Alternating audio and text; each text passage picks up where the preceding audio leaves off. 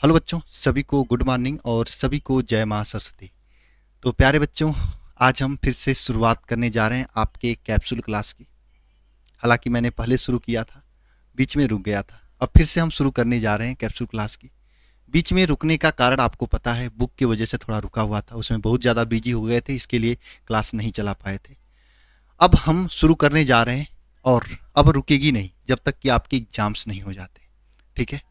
और इस बार थोड़ा सा हम अलग तरीके से भी चीज़ों को लाए हैं।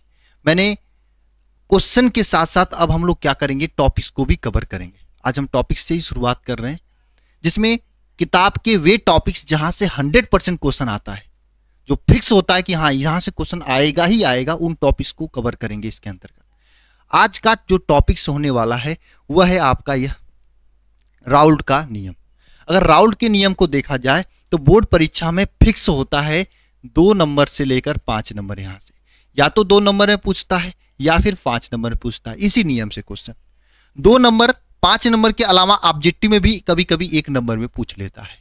तो इस तरीके से आपकी बोर्ड परीक्षा के लिए बहुत ही इंपॉर्टेंट टॉपिक है। राउल्ड का नियम वायरल टॉपिक है। इसको आज हम लोग कनेक्ट करेंगे, बढ़िया तरीके से सीखेंगे, समझेंगे, ताकि चाहे दो नंबर में आए, चाहे पाँच नंबर में, चाहे एक नंबर में, आप आसानी से कर ले जाओ। ठीक है?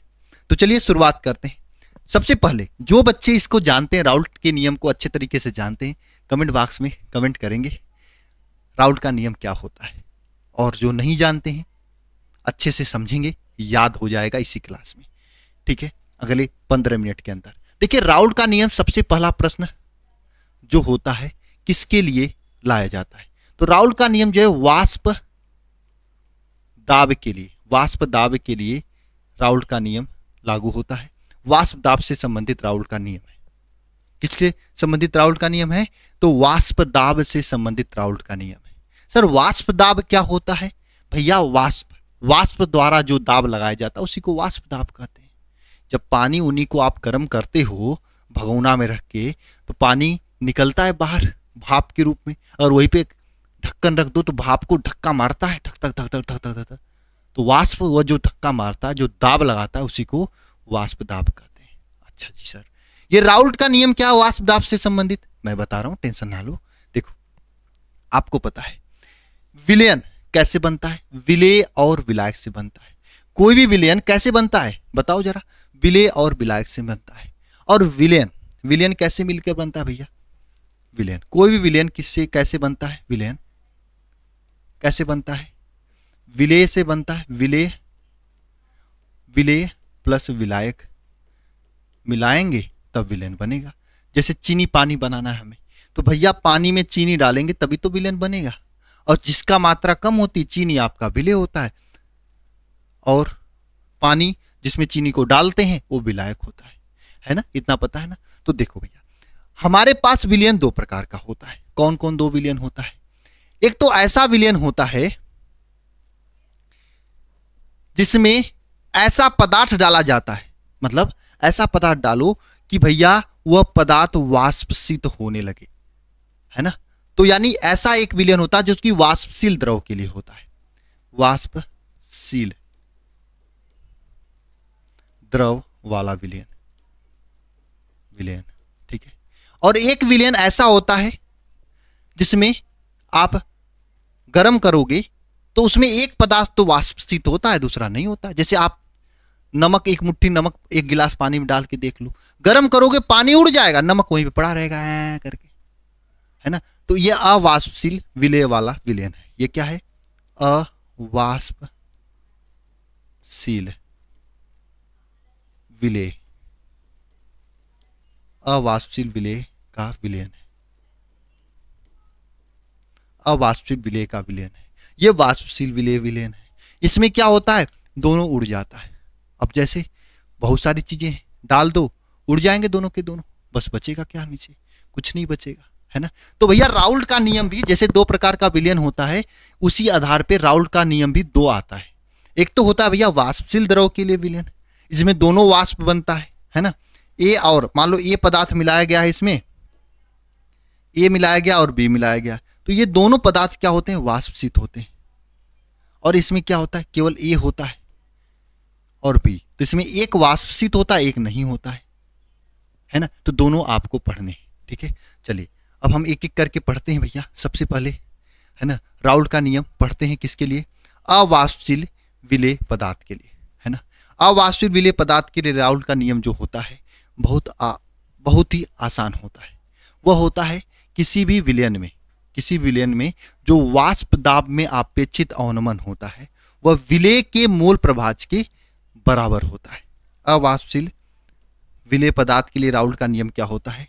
यह ध्यान देना। किसी विलयन जिसमें क्या हो? अवाष्पशील अवाष्पशील विलय हो। विलय हो। है ना? है ना? जिसमें क्या हो? अवाष्पशील विलय हो। तो उसका क्या होता है? उसका वाष्प दाब में जो अवनमन होता है, अवनमन विलय के विलय के, है ना? मूल प्रभाज के क्या होता है? बराबर होता है। बराबर होता है। होता है। ये किसके लिए है? अवाष्पशील विलय पदार्थ के लिए। यानी चीनी प, चीनी पानी का विलयन हो गया या नमक पानी का विलयन हो गया जिसमें पानी तो वाष्पशीत होता है लेकिन नमक वाष्पशीत नहीं होता नमक वहीं पड़ा रहता है गर्म करने पे है ना? उसके लिए है। उसके लिए राउल्ट का नियम है भैया। है ना? अच्छे तरीके से इसको कनेक्ट करके अपने कापी में लिख लेना। वासदाब में आप अच्छी तवन P not minus P S upon P नाट ये होता है। वासदाब में आप अच्छी तवन इज़ इक्वल टू एक्स विले होता है। यह एक्स विले होता है। यह आपका किसका? राउल्ट का नियम हो जाएगा। जी हाँ। ठीक है। अब वाष्पशील विलय पदार्थ के लिए राउल्ट का नियम पढ़ते हैं, है ना? अब हम लोग किसके लिए पढ़ेंगे? वाष्पशील विलय पदार्थ के लिए राउल्ट का नियम, ठीक है? है ना? ठीक है। वाष्पशील विलय पदार्थ के लिए राउल्ट का नियम। देखो, वाष्पशील विलय पदार्थ में क्या होता है? इसमें जो विलयन होता है है ना? इसमें ए पदार्थ घुला गया है बी पदार्थ घुला गया है। गर्म जब किया जाता है तो दोनों वाष्पित हो जाता है। लेकिन सर, ये बताओ दो दो नियम बता रहे हो? हमारे गुरुजी तो एक का नियम बताए थे। भाई, गुरुजी आपको आधा बताए थे। जब तक पाँच नंबर में क्वेश्चन पूछता है, आपको दोनों हेडिंग डाल के लिखना पड़ेगा। दो नंबर में पूछता है तो हम बताएँगे कौन लिखना पड़ेगा। पहले सीख लो, जान लो। वाष्पशील विलय पदार्थ के लिए क्या होता है, प्यारे बच्चों? इसमें ए और बी दो पदार्थ मिलाया गया है। ए भी ऊपर निकलता है बी भी ऊपर निकलता है, दोनों धप्पा तो वाष्पशील विलय पदार्थ के लिए राउल्ट का नियम होता है, बहुत ही आसान तरीके से आप लिख सकते हो, है ना? क्या होता है राउल का नियम? जब दो या दो से अधिक वाष्पशील द्रव मिलाकर विलयन बनाया जाता है तो जब जब दो या दो से अधिक, दो से अधिक, दो या दो से अधिक वाष्पशील वाष्पशील द्रव मिलाकर मिलाकर विलयन बनाया जाता है। तो क्या होता है? जब दो या दो से अधिक वाष्पशील द्रव मिलाकर विलयन बनाया जाता है तो क्या होता है? बताओ। वाष्पशील द्रव मिला के विलयन बनाया जाता है। तो विलयन का कुल वाष्प दाब तो विलयन का विलयन का कुल वाष्प दाब जो होता है, कुल वाष्प दाब, है ना? कुल वाष्प दाब पी जो होता है विलयन में उपस्थित, विलयन में उपस्थित उपस्थित प्रत्येक अवयव के आंशिक वाष्प दाब के योग के बराबर होता है।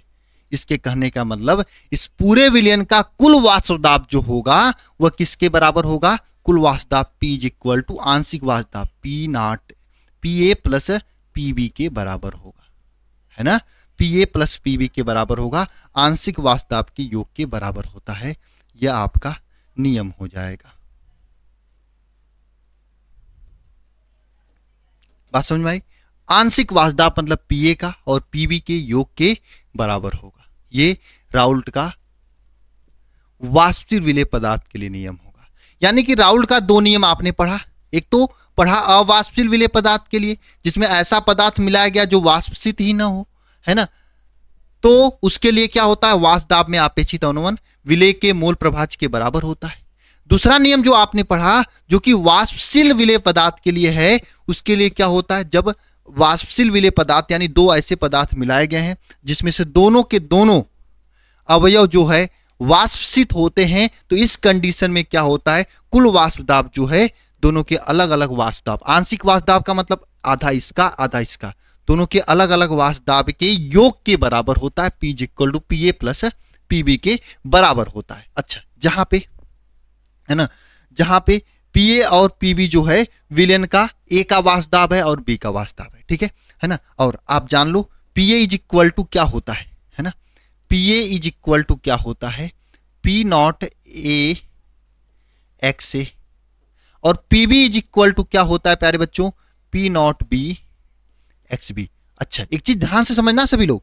ये जो पी नॉट ए है, ये पी नॉट ए जो है, ये भैया ए का शुद्ध वाष्प दाब है। और ये जो पी नॉट बी है यह बी का शुद्ध वाष्प दाब है। और एक्स ए और एक्स बी क्रमशः जो है ए और बी का ए और बी का मूल प्रभाज है। ना? मूल प्रभाज है। एक बात ध्यान समझना। देखो भैया पी नॉट ए ए का शुद्ध वासुदाब का मतलब ये हुआ जब ए को इस बिलियन में नहीं डाला गया था तो ओ वाला वास्तव है। पी नाट बी का मतलब ये हुआ कि भैया जब बी को इस बिलियन में नहीं डाला गया था ओ वाला वास्तव और एक्स ए मतलब ए का मूल प्रभाज, एक्स बी मतलब बी का मूल प्रभाज, ये पी नॉट ए और पी नॉट बी का मान होता है। तो इसके आधार पे अगर आपको राउल का नियम पूरा लिखना हो तो क्या लिखोगे? P is equal to P not A X A plus P not B X B ये हो जाएगा राउल का पूरा नियम। तो प्यारे बच्चों, एक बार रिपीट करते हैं रिवीजन करते हैं, फिर राउल का नियम आपके सामने हो चुका है। पहला नियम क्या राउल का होता है प्यारे बच्चों? राउल का पहला नियम होता है भैया कि वाष्पशील मतलब अवाष्पशील विलय पदार्थ के लिए उसका जो मूल मूल उसका जो वाष्प दाब में अपेक्षित अनुमान होता है विलय के मोल प्रभाज के बराबर होता है। दूसरा आपका यहाँ पे वाष्पशील विलय पदार्थ के लिए वाष्प में अपेक्षित वाष्प जो होता है विलयन का, उसमें अलग अलग वाष्प के योग के बराबर होता है। ये आपके दिमाग में सेट हो चुका है अच्छे तरीके से। एक बार कमेंट बॉक्स में कमेंट करके बताना। जी हाँ बिल्कुल, बहुत बढ़िया। अब हम आपको होमवर्क की ओर लेके चलते हैं। इस क्वेश्चन का होमवर्क बताना सभी लोग। ये क्वेश्चन राउल्ट का नियम किससे संबंधित है? एक तो ये क्वेश्चन आप सभी लोगों के लिए, जो कि आपको कमेंट बॉक्स में अपने नाम के साथ में होमवर्क देना है। दूसरा क्वेश्चन ये है आपके लिए। दूसरा क्वेश्चन ये है कि राउल्ट के नियम की राउल्ट के नियम की सीमाएँ लिखिए। सीमाएँ लिखिए। राउल के नियम की सीमाएँ लिखिए। ये दो क्वेश्चन आपके लिए मैं होमवर्क दे रहा हूँ। पहले क्वेश्चन का आंसर आपको कमेंट बॉक्स में नाम के साथ लिख के बताना है। और दूसरे क्वेश्चन का आंसर जो है, आपको अपने ही कमेंट बॉक्स में बता देना, या फिर इंस्टाग्राम है मेरा, इस पर शेयर कर देना, बता देना। At the rate Alpha I N S T I T U T है ना? इस पर आप जो है भेज देना, मैं देख लूँगा, ठीक है? आंसर सही लिखे हो कि नहीं लिखे हो, कुछ कमी तो नहीं है। तो कमेंट बॉक्स में ज़रा कमेंट करके बताइएगा सभी लोग, ऐसा सीरीज़ कैसा लग रहा है? एक एक नियम को हम याद कराते चल रहे हैं एक एक टॉपिक्स को क्लियर कराते चलेंगे। धीरे धीरे सब टॉपिक्स क्लियर हो जाएँगे, क्योंकि पूरे केमिस्ट्री में बहुत ज़्यादा टॉपिक्स इंपॉर्टेंट नहीं है जो बार बार पूछे जाते हैं। बीस पच्चीस तीस टॉपिक होगा, जो कि बीस पच्चीस दिन में हो जाए, चूँकि ये क्लास संडे हो, चाहे मंडे रेगुलर पाँच बजे आपको ये क्लास मिलती रहेगी। तो मिलते हैं नेक्स्ट क्लास में, सभी को जय माँ सरस्वती। और हाँ जो बच्चा क्लास ट्वेल्थ में है, और बोर्ड परीक्षा की ज़बरदस्त तैयारी करना चाहता है तो हमारे पास शिखर 2.0 बैच भी चल रहा है जिसका फ़ीस मात्र सात सौ निन्यानवे रुपये है और गजब तरीके से आपके बोर्ड की तैयारी पूरे एक एक चीज़ को फील करा के, याद करा के कराया जा रहा है। Daily live class, live doubt class से लेकर सब चीज़ें, मॉडल पेपर गेस पेपर, सब चीज़ें दी जा रही साथ में बच्चे सात सौ निन्यानवे रुपये में सभी विषय की ये वरदान, रिवीजन रिवीजन बुक जिसमें इजी नोट्स क्वेश्चन बैंक दोनों है, ये आपके घर पहुँचाया जाएगा। तो आपके पास अभी भी समय ज्वाइन कर सकते हैं। मिलते हैं नेक्स्ट क्लास में। सभी को जय महा सरस्वती। ज्वाइन करने के लिए आप लोग अल्फ़ा इंस्टीट्यूट प्रो ऐप को डाउनलोड कर सकते हो। या नंबर है नौ सौ तीस, पाँच सौ सतहत्तर, तेरह पचहत्तर, इस पर कॉल कर सकते हो ज़बरदस्त तैयारी के लिए। मिलते हैं नेक्स्ट क्लास में। सभी को जय महा सरस्वती।